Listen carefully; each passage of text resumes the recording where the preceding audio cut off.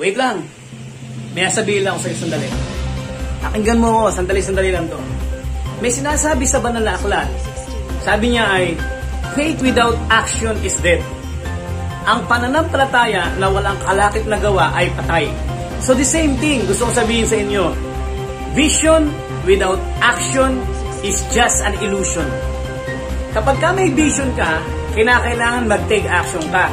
Sapagkat mananatili itong isang panaginip lamang, isa lamang itong ilusyon kapag ka hindi ka nagte-take action sa iyong vision o sa iyong pangarap sa buhay.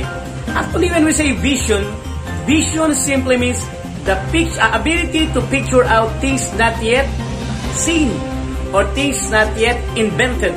Ability to picture out things not yet seen or created things not yet created. So vision without action is illusion. Any vision you have, take action. Spend more time. Thank you.